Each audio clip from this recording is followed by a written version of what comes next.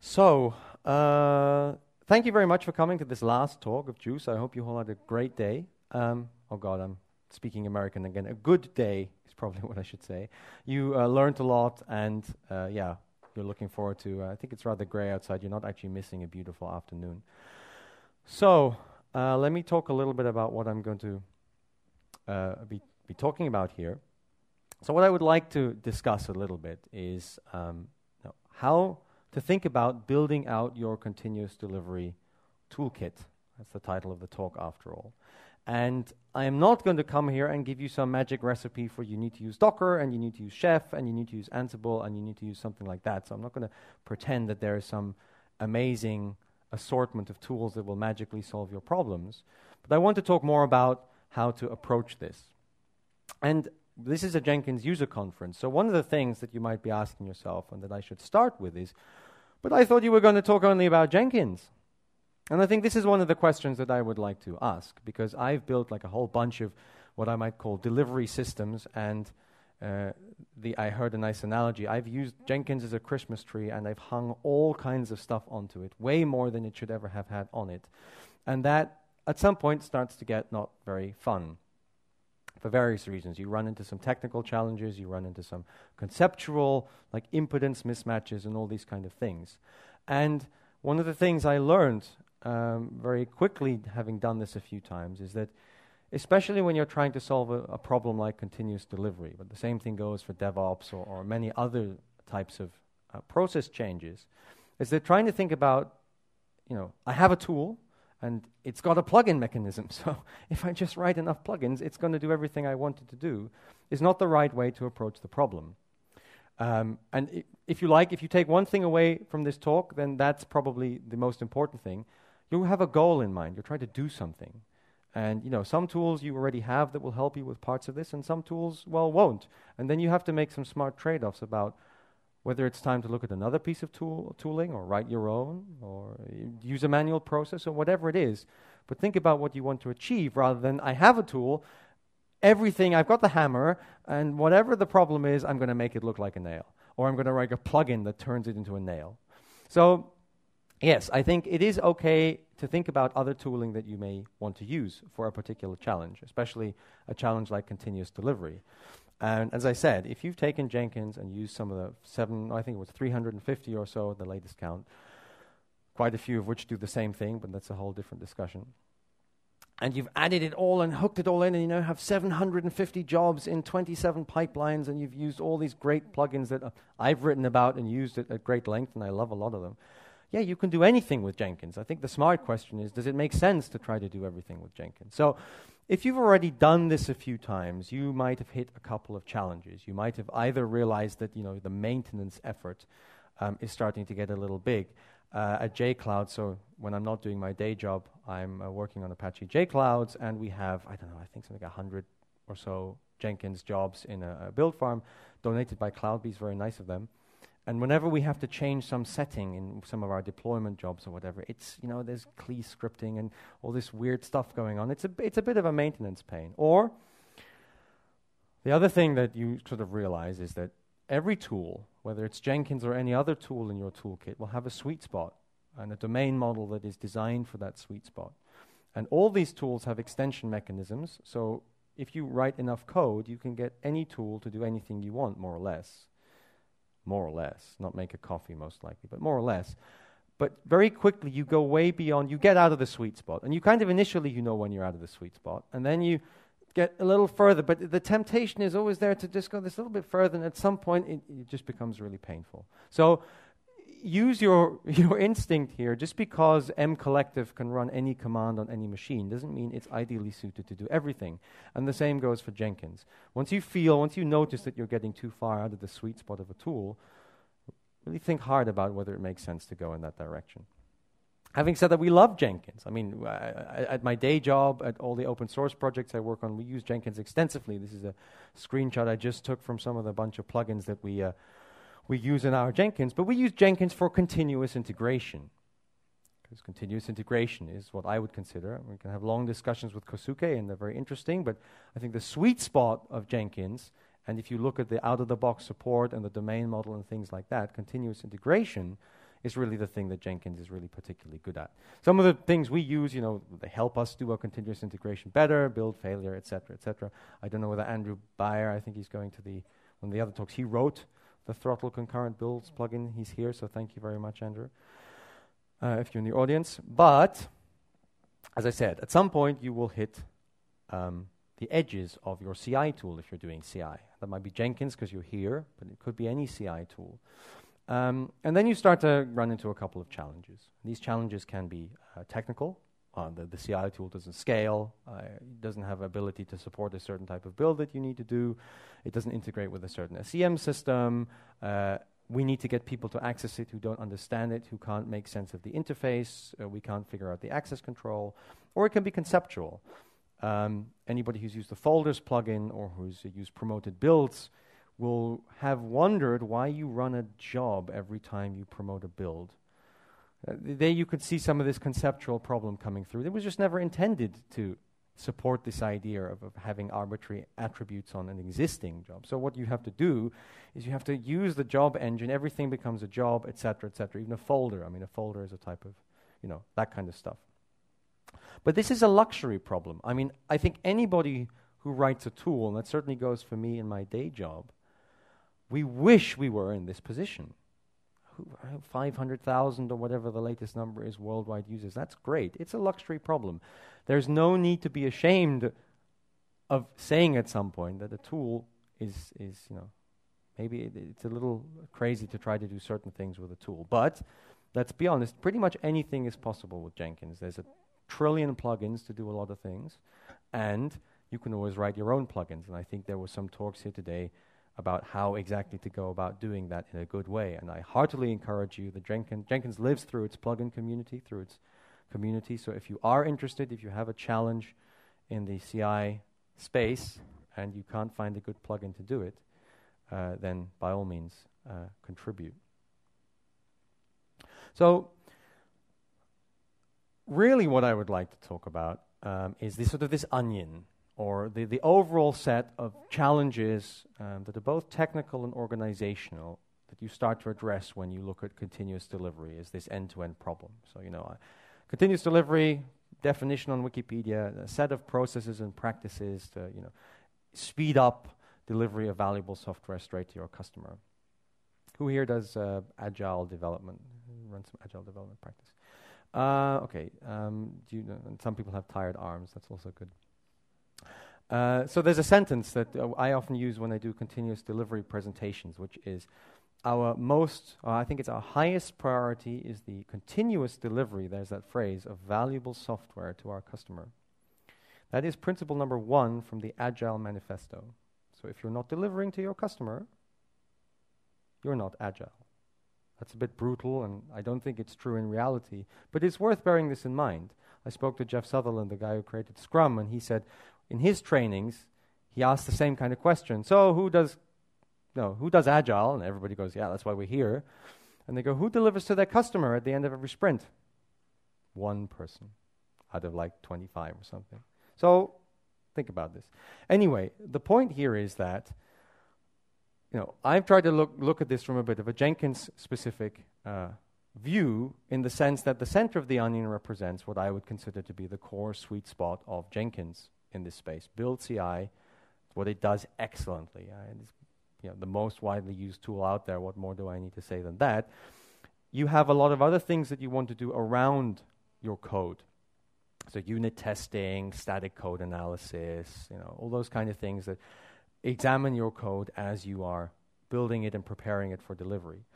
Um, and then as we start to get as the layers of the onion start to get further and further away, we start to run into some things that are very important for continuous delivery, but that are maybe not quite so easy uh, to do. Um, and again, I think what I'm inviting you to think about is how well, how easy they are to do in your specific context. So, one of the next ones is environment provisioning. Right? This is not about, I'll talk more about it in a second, but this is really about making sure you have environments to which you can deploy your applications. And then you have to do the deployment itself. You know, you've got your code built, you now need to get it running. Uh, then you have test management. I'll talk about what that is a little further on. Uh, and so that's not testing itself. Jenkins is good at running a whole bunch of different types of tests, but how to use that data in a, in a realistic and a sensible way. And then you have the whole end to end sort of pipeline, the release management thing. And right at the extreme outer layer of the onion, you actually have your customers uh, or your users or the people who are really asking for these features to be built. So they're, they're, you know, they're the people who are ultimately the, the, the end goal of continuous delivery is to get stuff to them and to help them understand where certain things are. So these are technical topics, and we'll talk about them in a technical way. But it's also about the audience. Each one of these things that I've just mentioned has a different target audience, and uh, one of the challenges in continuous getting continuous delivery toolkit or a continuous delivery toolkit right is about making sure you present the right information to the right people in a way that they can consume. Um, so, for instance, if you're looking at test results, you have to present them in such a way that maybe both the, the business owner who has to make a decision, but also the tester who needs to analyze them and figure out where the test went wrong and why it went wrong and so on, uh, can see the information that they need to see. So before I now go in and talk about some of these technical things that your continuous delivery toolkit needs to address and what kind of tooling you might want to use for it, let me reiterate a couple of things. CD is uh, one of the one of the most common uh, questions or, or I get from people is we want to do CD. How do we do it? And that's great for us as a vendor. We love that because we tell them, well, you, you know, buy our products and perfect. No. CD is a means, it's not a goal. You as an organization have to decide what your goal actually is. Do you want to release more quickly? Do you want to release more reliably? Do you not care about this at all? And you know, you don't need to do it. You also need to end up choosing your, the tooling for your continuous delivery toolkit to match the goals that you have. So there is no silver bullet. I'm not going to come and say, as I said, you know, these are the seven tools. They've proven themselves in every situation. They will give you exactly what you need. It just doesn't work that way. You need to figure out what you want to achieve, and then you can go and identify whether you need different tools, more tools, whether you can use the tools you have, uh, and so on. And I mean, I'll give you an example, kind of interesting for us ourselves as XebiaLabs. We are a product company, so we sell our products, uh, software products, and I would love, you know, we are technically set up pretty much to make a new version of our products every day or so. Um, but the people, our customers don't want that at all. They go crazy. Like, my God, more than one release a month? We never, we don't want to update software once a day. Uh, we need to get a process. We have a process in place for this kind of stuff. So, even though we'd like to, our customers don't want us to. So, again, it, it, it's about the goals that you have for this particular process. Okay. So, what I'm going to talk about in the next, what is it, about half an hour or so, maybe we'll finish a little quicker so you can get, get out a little earlier, is five particular technical uh, areas in continuous delivery um, and how I've seen those addressed and how we think they can be addressed in different circumstances. The five are uh, there's more, of course, and there's more in the onion, but the five I want to talk about here are build and continuous integration um, environment provisioning, deployment, like application deployment, test management, and um, interesting discussion in its own right, release management slash pipeline orchestration. I'll talk about why I put those two in the same line uh, when we get to it. Let's also not forget, you know, this is a partially going to be a technical talk, but one of the big challenges about getting CD right is it's not just tools, it's also different teams involved. And different teams have very different backgrounds, experiences, expectations. Okay, so, so who's here? Who here is from what you might consider the development side of the house, development team? About 60%. Operations, uh, the other half. And then, and then QA. I see, again, so we have our room represents this, right? And there are different people involved in CD, and in order to make CD effective in an organization, it's not just about getting the right tools to do the right tasks, it's also about supporting interaction between these teams. And th this, this is starting to get a bit of a DevOpsy discussion. We can have a long discussion about that later. But basically, yeah, each of these different processes will touch or primarily live with a certain team. there's no hard and fast rule. This is just from my experience what we see quite often. And the interesting one is the one at the bottom because, again, that's the whole end to end process, which really involves pretty much everybody. Um, what's missing here a little bit is the customer. I guess if I were to put them somewhere, they would be somewhere at the bottom. Um, but not many people I've spoken to are actively involving their customer in this process beyond, say, doing something like um, canary deployments or A/B testing, where you really are asking your customer to basically validate your software uh, before you make it fully live. So there's always, there's never a bad reason to put this. you know, I'm sure you've seen this in like 10,000 different versions, but it's always fun to have out there. Long story short, every team that you speak to will have a different idea of what CD can or should or will mean for them. And I guess one of the uh, yeah, one of the one of the examples of that is I've, I've spoken to many teams about continuous integration. One of the five I'm going to talk about, and if you speak to developers, they kind of yeah, it's clear. Well, they typically say, oh yeah, we have a Jenkins server, um, which is great, but Jenkins server is not CI. CI is a practice. Jenkins server helps you do it. There's a very interesting blog called Continuous Integration on a Dollar a Day, where somebody describes how to do CI with a old server, a bell, and a rubber chicken. No CI server in sight. Um, so let's not forget, you know, just running a server doesn't give you CI, but developers, most of the development community knows what it is. Speak to people in QA, well, the reactions were, what's CI? You know, we do testing. Um, and it, it changes, of course, and it depends on the organization. Speak to the database people. Yeah, the idea of having like, no, no, no, we will, you will send us your SQL, and then we will review it manually. Um, and uh, then we will run it uh, by pushing on the button or copy pasting it into the console or whatever. So this idea of uh, continuous integration with database stuff, very, very rare. Um, for a release manager, maybe not for a release engineer, but for a release manager, a CI tool may or may not be known. And, and ops, that's changing very much now that we have kind of infrastructure as code, uh, where in some organizations at least, ops is doing a lot of basically development and they have their entire their own delivery stack. You know, they have a Jenkins often, but they then have Cucumber or a bunch of other tools to you know, Puppet Chef verify your manifests or your Docker files nowadays if you've already switched there or whatever. So people, different people have. Long story short, different people, different levels of knowledge, and different expectations for all these tools. Start talking about a little bit about continuous integration. So I don't think anybody, well, it's a, it's a de facto part of uh, most continuous delivery tool sets. Why? Because you need typically to verify or to run some first uh, checks on you know, the, the code that you're about to try to push out there.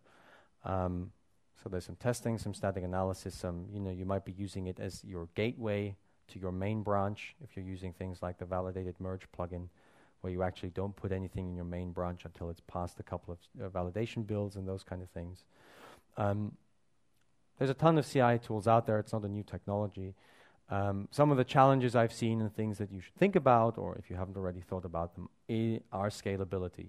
In the context of continuous delivery, you will run a lot of CI jobs, depending on how frequent you make them. Um, and it's not going to help you a lot to have an efficient CD process if you only have two build servers and they only always fall over. So getting some kind of scalability here is uh, very important. Um, there have been a bunch of talks here about this. You know, CloudBees, there's some hosted services that will give you some options in this area. If you want to run this on-prem, just make sure that you have you know, enough resource available and certainly look at some of the plugins that, uh, that do this for you, some of the cloud scaling plugins, the JClouds plugin, the Docker plugin, and so on different types of builds. Uh, polyglot development, and I guess that was the buzzword maybe two years ago.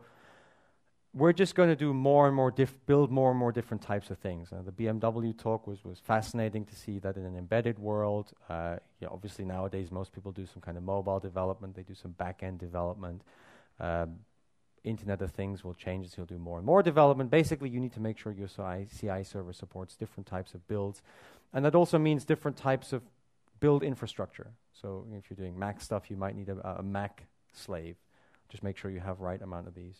And then the other thing that's worth looking at from your CI server perspective, does it give you the right level of granularity of access control?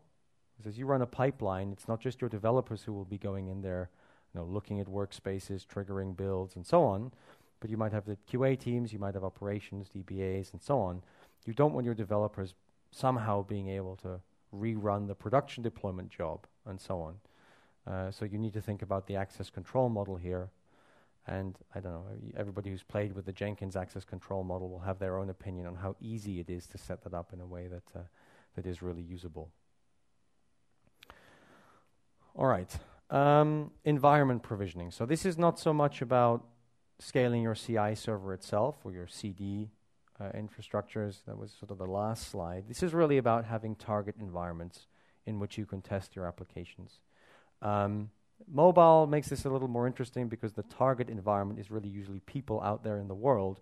But if you're building server-side apps or, or desktop applications or something, then yeah, you, you want a pool of machines that you can run your tests on because a lot of the tests that you're going to do need your application to be really running, not in an emulator, and it's not a unit test that you're just running against the code.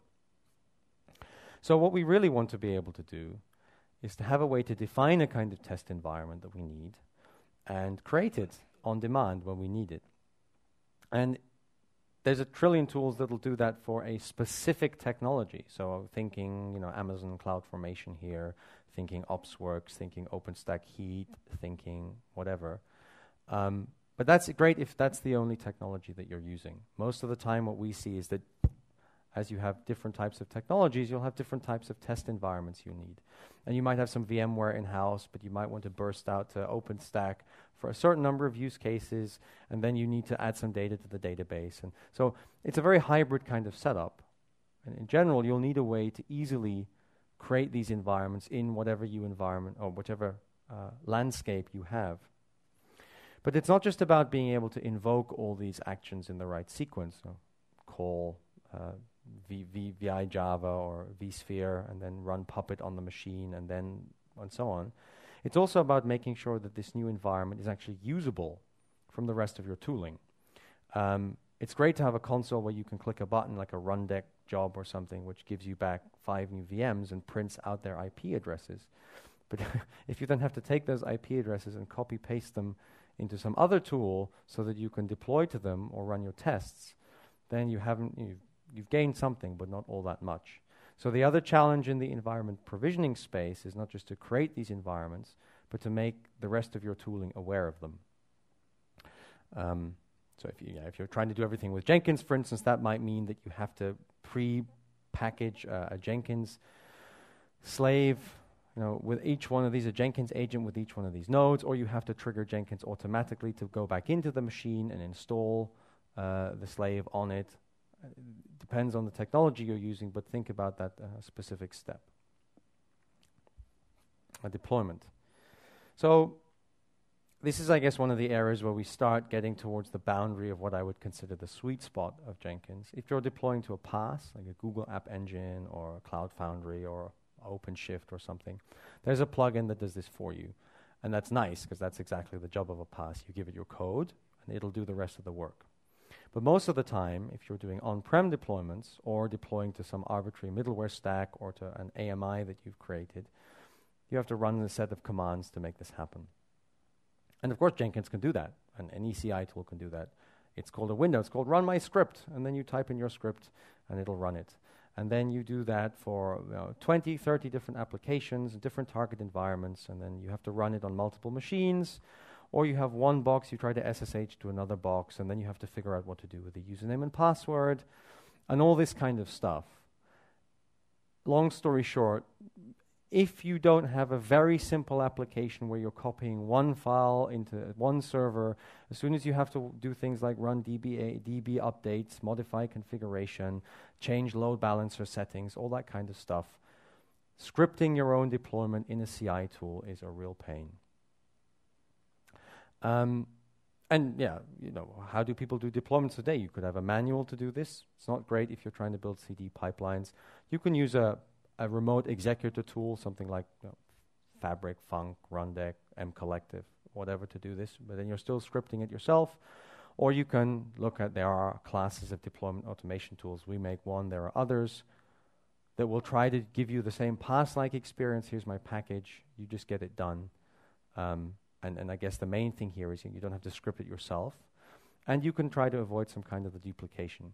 So if you think about, say, deploying, I don't know, a war file to Tomcat, or maybe a data source definition to Tomcat, if you do that from 10 applications, it should be the same step every time. So to have 10 jobs that really copy the same step, and then if you want to modify it, you have to go into 10 jobs and change it. That's also a bit of a waste. You want really somebody else to take care of this kind of thing. Certainly something like Docker with this idea of a, a, layerable definition of your target container where you could swap out the, the data source part easily. It will be interesting to see how that evolves, but I don't think anybody's figured out how to make that easy yet. Deployment has a bunch of other standard problems that you would expect a tool to solve or you're going to have to solve yourself. Um, these are the things like how to handle environment specific variables, um, how to make sure only the right people can deploy to the right environments, and so on. So that's obviously additional stuff uh, that you would expect a tool to do for you, or you have to think about as you uh, build out your CD thing. Or you can find a way to avoid them. I mean, that's the best thing. Don't have this problem. Don't have environment specific values. Uh, don't build environment specific applications. Test management. Uh, so, what do I mean by this? Well, the trend nowadays, I guess, is not to have like an enormous LoadRunner or an HP quality center, now called HP ALM, sitting somewhere in a corner, run by the QA team over there, doing their stuff, and then they come back with this yes no answer. Um, the way of doing testing nowadays is you have usually a ton of different test tools for different types of tests regression, integration, security, uh, usability, unit, whatever. Um, and that's great. And you write more and more tests, and that's even better. And a CI tool normally has good integrations with quite a lot of these test tools and can trigger all these tests. But the more tests you have and the more tests you have, uh, test tools you have, the harder it starts to get to answer the one root question that's really interesting from a continuous delivery perspective does it go live? There's really only one interesting question from a perspective of testing. Am I confident enough about the quality and the risk of this particular candidate to put it into my production environment? And the more tests and the more test tools you have, the harder this gets. If anybody's tried to aggregate somehow in Jenkins the different results from all the different tools, which are spread across different jobs, of course, because they happen in different parts of the pipeline, and has tried to come up with one nice visualization of this, well, if, you if, if it was easy, then you've done an amazing job, and I would really like to see what you've done. It's just not easy in, in practice. So people have, you know, they PowerPoint presentations, and they sit and they open 10 different logs or views. It, it's just a nightmare. So there has to be some way in which you can, you, know, you need to think, if you run that many tests, you need to think about how can we get all this stuff back together to help us make a, a qualified, if you like, a good no-go go no go decision. Um, and I guess one thing to add to that is that all tests passing, everything's green, is this kind of vanilla example, but that's not what real life is like. If you have more than five tests, chances are some of them will keep failing and you're going to be okay with it.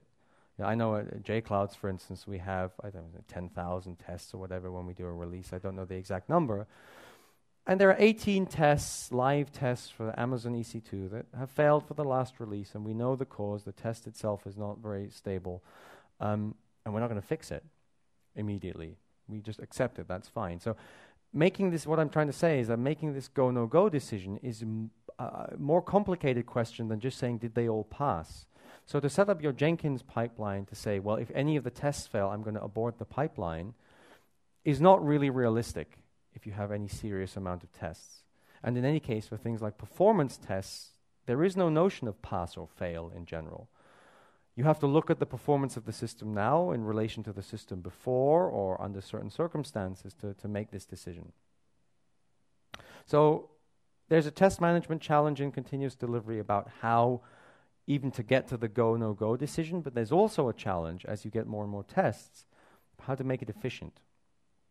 Um, I call it the Google problem. Those of you who've spoken to me today, you've heard this story before. Google has too many tests for quite a lot of systems to be able to run them every time. A, it takes too long, and B, it's too expensive. So they have a very smart machine learning based static analysis system where they look at the commit, and based on the commit, they analyze which parts of the system will be affected. And then, based on the history of tests that they've run, they identify a subset of tests that they want to run for this specific commit automatically. It's cool. But of course, it's not something we're going to have like immediately. It's millions of dollars worth of investment. But what we, what, what, what I think is worth thinking about is how can I make tests context specific? How can I somehow annotate a test with you know, information about what it's testing so that when I run a specific pipeline, I can run those tests that are most relevant for me right now. And it's a trade off, right? You can say, I need a pipeline to be really quick, so I'm only going to verify the essential parts, the parts that have changed. Or I don't care so much about speed, but I have a, a smaller tolerance for failure, so I'm going to run more tests. And then as, the, as time goes on, of course, we want to make sure the tests stay the relevant ones. We all know the famous unit tests that have been green for the past you know, 7,000 builds. Are they actually telling us anything valuable? Um, we could probably disable them and it wouldn't really change. We wouldn't throw them away, but we, you know, they're, just noise, ultimately. They make it harder to see what's really changing in the application where we need to focus. So, finally, pipeline orchestration uh, of the ones we were discussing. I call this release management or release coordination in the initial slide for the following reason. Um, I always find it kind of curious how, if I speak to a release manager about the process, you know, what does a release manager do? They will say something like, well, when the developers have finished working, uh, we start to have this release plan, and then we run through all these steps, and then when we're finished, the application is in production. And if you speak to someone who's a continuous delivery guru or in fan, they will describe exactly the same process, but they will call it a continuous delivery pipeline. And the people on the one side don't really understand the people on the other side, and so on. To me, of course, they're technically totally different. Release managers tend to use Microsoft Excel or MS Project or Confluence or emails or whatever, and then we will have meetings 8 o'clock every morning where we explain what we did yesterday who's never been in a meeting like that. um, so, how it's done is totally different, but the process that we're looking at is exactly the same. Here today, we're probably more interested in the kind of continuous delivery style, maybe coming more from the development space where we're talking about pipelines. So, the things I think that are very important from the perspective of your toolkit are do you have a tool that allows you to define the pipeline in such a way that your pipeline can go to production? most of the time when I speak to people, certainly who've built pipelines from the development department, uh, it's kind of like, so how far does your pipeline go? Oh, well, it goes to the QA environment, the quality assurance environment, or pre-production. Why? Well, because you know when we have to go to production, then there's all these meetings, and you need approvals, and it can't be automated, and we don't have access to the machines anyway, uh, so we're not going to do it. And that's, there's nothing wrong with having an automated system to get code into pre production. That's great. It's very convenient and useful. It's not continuous delivery. Continuous delivery isn't just about building a pipeline that gets to production. The whole point of continuous delivery is to get the code to your customer so you can see how they react.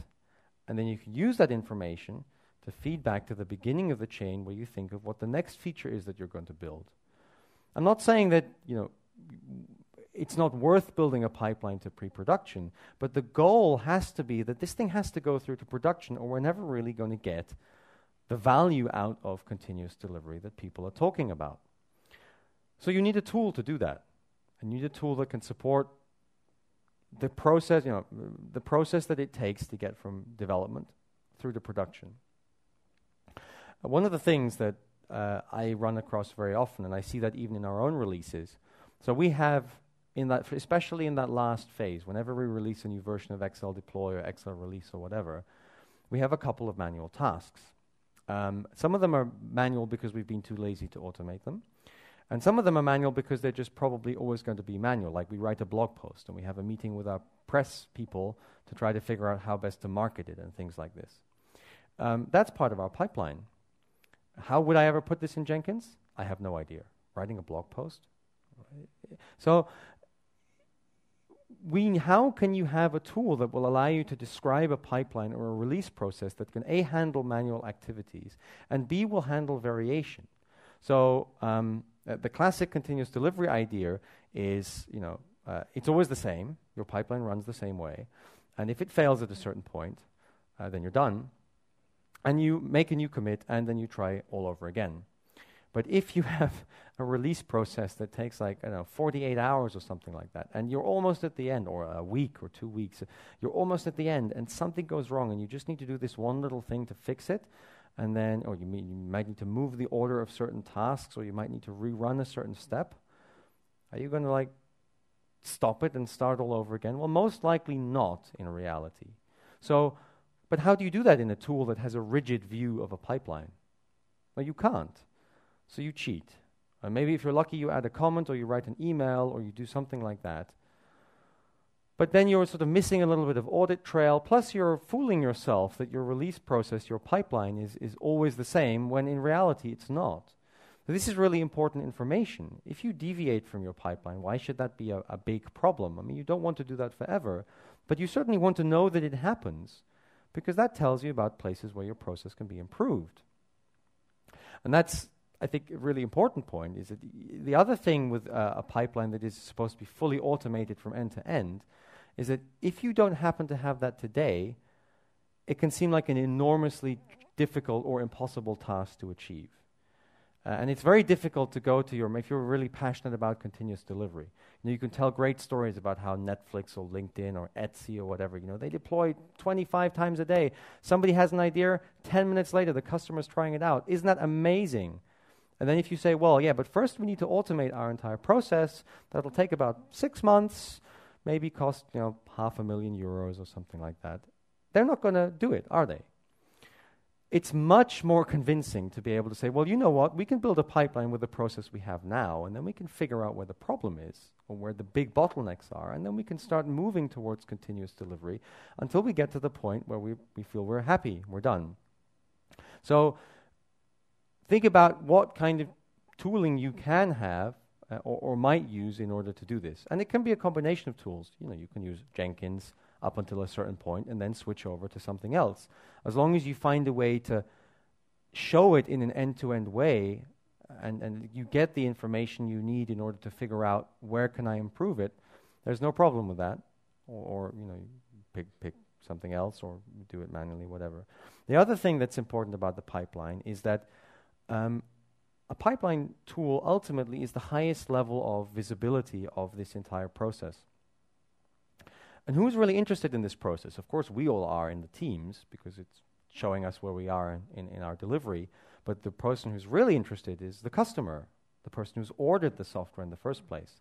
I like to think of continuous delivery as a sort of track and trace principle. Um, you know, if you order, I don't know, you use one of these apps to order food so you say, okay, I want a, large pizza. Um, how did that work like five years ago? Uh, well, you called them and you said, I want a large pizza. And uh, they said, okay, we'll be there sometime. And then you sit and wait and sit and wait and, and, sit and wait. And then the pizza arrives and it's cold and it's not the pizza you ordered and you're frustrated. Uh, and this is pretty much the experience uh, the people who pay our salaries, our customers, have of software delivery. That's what it's like. It's like ordering a pizza five years ago. What happens now? You order a pizza, and you know they tell you, they show you, they give you some you know, an app or website or whatever, and then they show you, well, it's currently being made, and you know, it, estimate is about 37 minutes, and then they put it on a motorbike, and you can see them follow the. That's what we're used to. If you track and trace a parcel, you know, you know at any given point in time when is it going to be there, uh, what's the estimated delivery date. Why should software not be like that? That's the promise of continuous delivery. That's why it's so cool. Because it, you know, you, the person who ordered the piece of software can, should be able to type in, I ordered feature, uh, deploy it 4728. Oh, it's in the QA phase. Uh, 47% done. No warnings. Should be here on Thursday. That's what it should be like. Yeah, I know. I, I laugh when I tell this story as well because it seems so unrealistic. But we're basically telling people that software delivery should be something we as customers would never accept, never. So let's think about this a little bit. What kind of, but, but this, what I was saying, this track and trace page, if you want to have a pipeline orchestrator, it should support this kind of track and trace ability. And CI tools typically are one level too low for that. It's a bit like you doing track and trace on the Deutsche Post website by watching their fleet management system showing you all the trucks and how heavy they are and how fast they move and who's driving it. Who cares? What you care about is when it's going to be there. So the pipe, oh, hello. Oh, I've got a meeting about OpenShift. I'm sorry. Um, well, I've got to finish then on time. Um, your pipeline orchestrator either itself should have the kind of high level interface that will help the business or the customer follow the progress of a specific feature through the pipeline, or you will need something on top of that to communicate this information back to your customer. If you have something that is essentially only relevant to highly technical people who understand Git SHA1 IDs, that's the wrong thing. Right. So almost finished. I know I have five minutes. The one thing that I was going to add here, so yes, introducing a toolkit all sounds great. Picking the right tools for your goals sounds great. But how did your current automation tools get chosen? How did they build this thing? Uh, one of the challenges we see is that most organizations have a tendency to try to pick tools that are specific to a certain organization, a certain part of the organization. It's very hard to find organizations that are good at picking tools that are supposed to cross boundaries between teams. So, to try to change this, if you think about continuous delivery, it's also about changing the way we do tool evaluation, tool introduction, tool implementation, uh, and getting multiple people to work with the same things. So there's a final plug. Obviously, some of the things we've talked about. Um, enough about that. Thank you to all the sponsors, and thank you very much for coming.